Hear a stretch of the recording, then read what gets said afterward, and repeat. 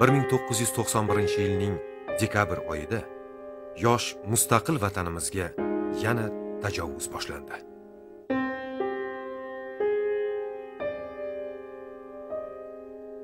Albatta bu o'rinda namangan voqealarini tilga olish kerak. Namanganda ham e, ekstremist guruhlar juda quturib ketdi. Ular o'zlaricha adolatli adolat o'rnatamiz dedi akamiz bo'lsa ham otamiz bo'lsa ham inshaalloh bilan javob qilamiz terrorchi tohir yo'ldosh boshchiligidagi diniy ekstremistik kuchlar boy badavlat odamlarni talab pul yig'ib qurol olib o'zimiz davlat quramiz degan vaj bilan 1991 92 yillarda ketma ket qotillik talon taroj va bosqinchilik kabi og'ir jinoyatlar sodir etishdi 1991 yilning 9 dekabrida namangan shahrida ular viloyat ijroiya qo'mitasi binosini egallab olib o'zbekistonni islom davlatiga aylantirishni da'vo qilib chiqishdi va respublika rahbari bilan uchrashuv talab qilishdi. Bu o'ta keskin dramatik holat video tasmasida tasodifan muhrlanib qolgan. Sakkizinchi kuni kechqurun bu yerni egallagan. Kechasi bilan yaqin yigirma ming odam mana shu yerda to'plangan. To'plangandan keyin ularni vajohati juda qattiq. Shu allohu akbar deb turgan ichkaridagi to'rt qavat hammasi odam liq to'la o'shalarni odamlari lashkarlari. Bu yoqda endi kechqurun o'sha shomdan keyin masjiddagi xubtanda o'qigan namoz o'qiganlar hammasi to'planishga boshlagan. Natijada yigirma mingdan oshiq odam to'plangan bu yerga. Shundan keyin bu yerdagi ahvolni ko'rilgandan keyin rahbariyat islom abdug'aniyevичga xabar qilishga to'g'ri kelganda chunki bular talab qilgan biz islom davlatini quramiz degan talabi shu bo'lgan asosan. Boshqa hech qanaqa gap quloq solmadi bu yerdagi rahbarlarga quloq solmadi qabul ham qilmadi. Tepaga zangor rahbar unaqa bayroqlarni osib tashladi hammasini atrofdagi zangor bayroqlarni osib tashladi. Mana bu yerlarga juda katta qozonlarni qo'yib ovqatlarni tayyorlashga boshladi. Issiq ovqatlar nonlar kelib turibdi odamlarga bo'lib beryapti. Endi buni ichida tomoshago'yi ham bor o'zi niyati bilan kelganlari ham bor. Natijada ahvol chatoq. Kechasi rahbariyat shunaqa xulosaga kelishdiki islom akaga qo'ng'iroq qilish kerak telefon qilib iltimos qilish kerak. Deb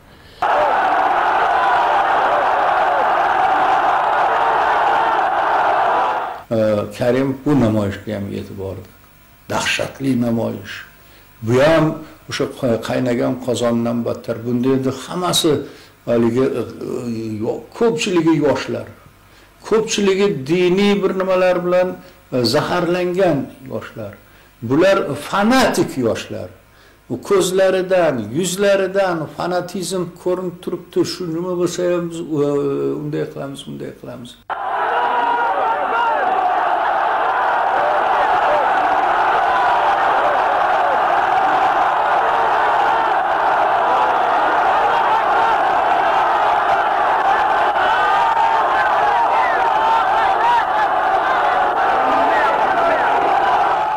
Keyin erta bilan islom keldilar. Kelgandaki mana shu yer oblsovetni joyi edi. Bu yerga tushgandan keyin menga shu prezident devonidagi bir mas'ul xodim bilan menga mana shu hovli topshirilgandi. Mana shu eshik bilan eshikni o'rtasida odamlarni o'rtasida shu tinchlikni barqarorlashtirish. Lekin odamlar juda jipis orasidan yurib bo'lmaydi tiqilib ketgan. Shunda turganimizda islom eshigini eshikni ochtirdi. Kelishga boshladi u kishi. Mana shu eshikdan chiqdi u kishi.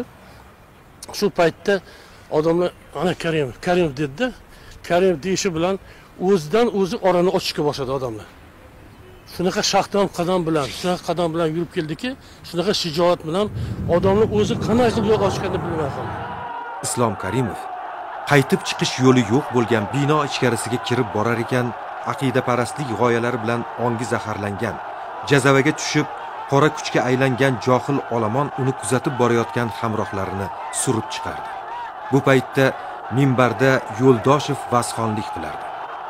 Islom karimov uning qo'lidan mikrofonni tortib olib mana men prezidentman.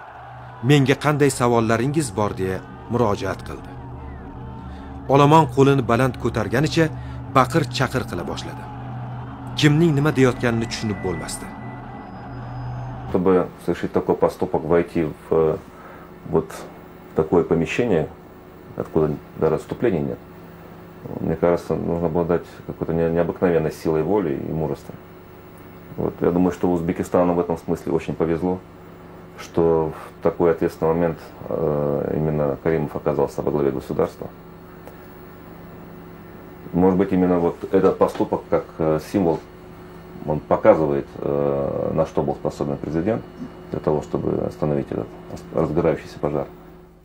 jazava avjiga chiqqan bir paytda islom karimov xotirjamlik bilan alhamdulillah men musulmonman nima gapinglar bo'lsa aytinglar dedi ekstremistlarning asosiy talabi o'zbekistonda amaldagi konstitutsiyaviy tuzumni bekor qilib islom davlati o'rnatishdan iborat edi islom karimov o'zbekistonni islom davlati deb e'lon qilishga mening hech qanday huquqim ham vakolatim ham yo'q.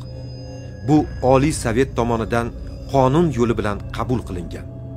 Ikkinchidan esa shaxsan men bunga butunlay qarshiman deya qat'iyat bilan javob beradi. Я знаю об этом шаге, и он, я думаю, вот э, в России оказался не очень оцененным. По-настоящему, потому что Россия в это время и большевистская, э, шовинистическая часть была занята другим, как бы тут всех обратно запихать в одну берлогу. Вот. Была своя борьба за власть, понятно. Э, и то, что вот, так, вот этот сигнал, очень дальновидный и добротный, не был по-настоящему оценен и услышан. Вот тогда, наверное, на этой базе и России, и всем другим, где действительно вот мусульманство, так сказать, э, э, было главенствующей, так сказать, вот религией, конфессией, что именно, именно на этой базе как-то продвинуть вперед вот государство в цивилизационном плане. Ведь это э, не, то, э, не только шаг в, в человечество, не только шаг в цивилизацию, но и по своему содержанию, э, я бы сказал, изменение цивилизационной культуры. Так вот, в Узбекистане, как мне кажется, вот этот первый выстрел, вот то, что на Мангане случилось, первый выстрел к эпохе самоочищения. Ибо представьте себе, что вдруг бы колесико истории вдруг бы вот завертелось в пользу настроений подавляющей, может быть, или определенной части масс.